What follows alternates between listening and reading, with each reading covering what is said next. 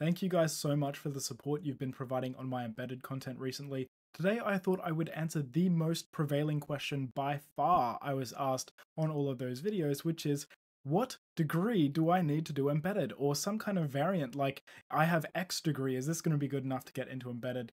So I thought I would do this video. I have two degrees. I have one in electrical engineering and one in computer science. So I'm going to kind of tell you where the knowledge gaps are. I also work as an embedded developer. So we're going to talk about what I actually do on the job, what's needed, what different degrees teach you, and what they don't.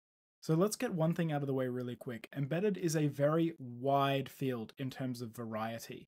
There is so much to it, and there are so many different roles that you can play. So I want you to consider like an embedded device versus a website.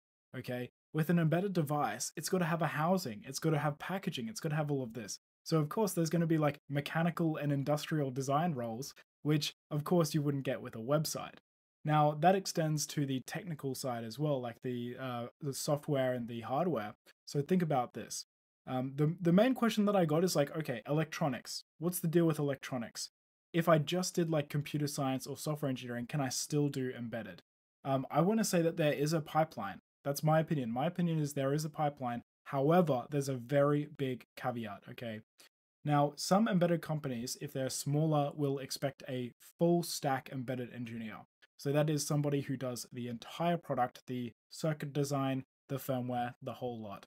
Um, now, bigger companies, you'll generally see like they have a dedicated hardware guy and they'll offer embedded software roles. So, for example, in my current role, I don't actually do any hardware design. I'm capable of it. I'm not necessarily that good at hardware design as opposed to my software skills, but I don't have to do any of it because we have hardware and electronics engineers at this company who will do that job for me. So all I have to do is sit there and write the firmware that runs on the microcontroller. The market for self taught electronics engineers is not as big as the market for self taught software engineers for good reason, okay? Like, consider this if you make Bluetooth earbuds and they blow up in somebody's ear, uh, and then it finds out that it was a self-taught electronics engineer, you're going to be in really big trouble. So it's um the market for self-taught electrical engineers is not as big for very good reason. Like if your CRUD if your CRUD website like messes up and hits a 404, then who cares? But if you make a mistake and your earbud blows up in somebody's ear, then you've got a really big problem. So I th- actually think it's a good thing that electronics is kind of gate kept behind degrees. Uh, that's my hot take on that. But in terms of software roles, so okay, let's say we didn't do an electronics related degree. We did like computer science or software engineering or something like that. How do we get into the embedded field just as a as a concept? Because like I said, there are so many roles. Like you obviously a mechanical engineer or an industrial designer has no idea about firmware or hardware or software. They no idea, but they're still in the embedded field. So if you're a software engineer who wants to get into this field, how can we achieve that? Well, uh, it, it goes a little bit something like this. You're going to want to target embedded software roles, embedded software roles. Um, not having an electronics degree is a disadvantage, or an electronics related degree is a disadvantage. But for embedded firmware design roles, you simply have to know how the hardware works at a very high level. You don't have to understand how to design it. You have to understand, you have to be able to read electronic schematics. You have to be able to say, okay, this pin goes here, this goes here. You have to understand what hardware devices do, and you have to understand voltage and electronic signaling.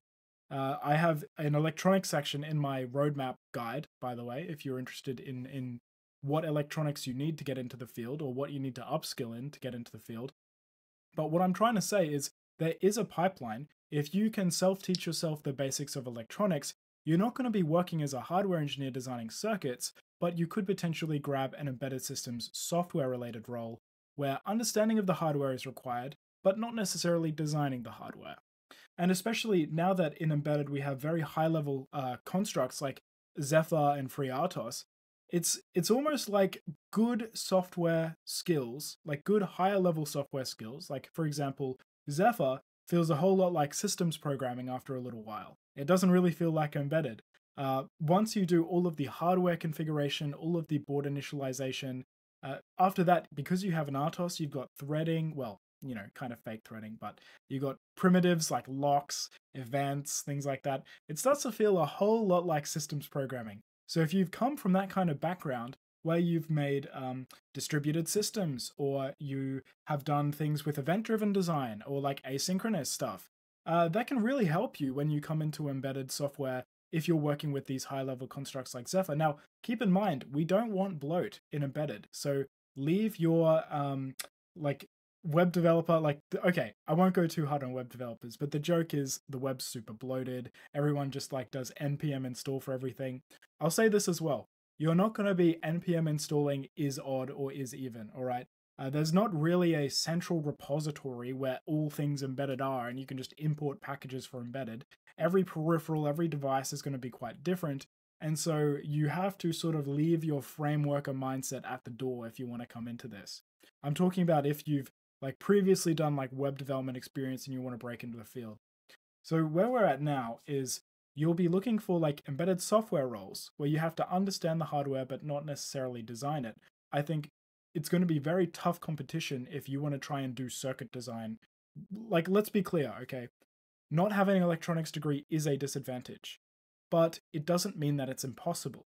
I honestly think that you can make up for it and become an embedded software engineer if your projects are really good. So uh, I've got videos on embedded projects, like some project ideas, and we're also going to be doing a video series on this channel of being that full stack embedded engineer, doing the whole design from start to finish. And you'll find the prototyping and the firmware parts, which I'm about to go and uh, go and construct. You'll find those particularly interesting if you're a software engineer wanting to come over to embedded. So uh, your projects are going to have to be really good. That's where you're going to have to make it up. Because if I'm looking at your resume and I just see a whole bunch of web stuff, I'm thinking, why does this guy want to come work in embedded?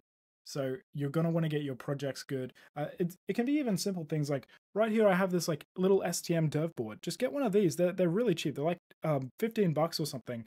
Pick one up and go play around, blink some LEDs, do some projects, and uh, and just get familiar with it. You don't even have to do any circuit design. You can just grab a breadboard, uh, sorry, PCB design. You still have to wire up a circuit and everything, but you don't have to do a PCB, just get like a breadboard and a STM dev board or something like that and just mess around. And your your projects, let's let's put it like this, okay? If you're trying to compete with people with electronics degrees, the software component of your projects has to be really really good. So I'm talking about you have to be using pretty advanced design decisions uh, or like actually articulating your design decisions correctly and showing that you're not going to bring the web developer bloat mindset into embedded. So that's going complex and abstract when you need to, and being dead simple and bare metal where you don't, and showing that you can actually make those correct decisions, um, and and actually transition from the higher level where everything is very fast and you've got very powerful computers, and and you can show that you're actually being performance conscious. You're going to have to show advanced things like can it communicate with PC software? Uh, can it communicate maybe with a mobile app or something like that? Like what kind of advanced features? Can i can it save to flash? Can it do like user settings management? Can it do all of these different things? Can it talk to other devices? Uh, these sort of like more advanced software things how's the concurrency going? Can it manage a bunch of tasks at once? If you are a software engineer you should use your software skills to demonstrate that you can bring this to a low level less bloat environment. And that's why i say good software skills are important. Uh, note i say like good as in fundamentals of like multitasking and operating systems and uh, distributed systems and networking and things like that, and event driven design. For example, uh, if you're used to doing UIs in JavaScript where you've got a callback on every button and it goes and runs a function, well, that's very similar to interrupts in embedded. So, as long as you can take a step back and detach from the mindset of this is a JavaScript thing, this is like a built into this language. I have to learn something completely new and say, like, no, these are the parallels. These are the parallels. Interrupts in event uh, interrupts in uh, embedded are very similar to just event-driven callbacks in JavaScript or these higher-level languages that you've been dealing with. So the ability to step back and map the software architecture and software engineering concepts between the two, and then applying that in projects is going to really make you stand out as an embedded software engineer. Uh, because I'll be honest with you, like a lot of the embedded software engineers that I've seen, uh, they don't actually have a very good grasp of software engineering. They have a they have a decent grasp of hardware and a decent grasp of software, but they write pretty poor quality code. That's generally speaking what I've seen. So if you've got a good grasp of software engineering, you can learn a bit of hardware, come on over to the uh, like do some projects, come on in, um, and if you've got a good grasp of both, well, you're going to be cracked in this field. So that's what we're all going for. So to sum up, like what degree do you need to do? Um, I honestly think like a computer science degree or a software engineering degree is fine. You just have to supplement that with projects and show that you are capable of understanding hardware, of understanding how microcontrollers work, of how to read data sheets, and you can actually bring that experience down into a lower level. Just don't expect to be doing hardware design because I seriously doubt that you will be. Anyway, those are my thoughts on degrees needed for embedded systems from a guy that's got both electrical and computer science. Um, so yeah, let me know what you think as well. Cheers.